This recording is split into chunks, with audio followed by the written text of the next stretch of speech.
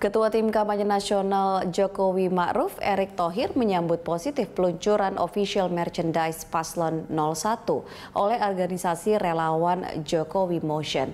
Peluncuran merchandise ini diharapkan dapat menarik antusiasme milenial di Pilpres 2019. Erick Thohir mengapresiasi kreativitas karya anak bangsa yang menghasilkan produk berstandar nasional dan memiliki kualitas yang baik. Selain itu, merchandise Jokowi Ma'ruf juga memakai salah satu desain rancangan anak difabel. Selain peluncuran merchandise, acara ini juga mengadakan dua lelang paket official merchandise yang hasilnya nanti akan disumbangkan kepada Yayasan Pengembangan Anak Istimewa Indriani. Official merchandise Paslon 01 terdiri dari baju batik, tas, jaket, topi hingga helm yang didominasi warna hitam, putih, dan merah.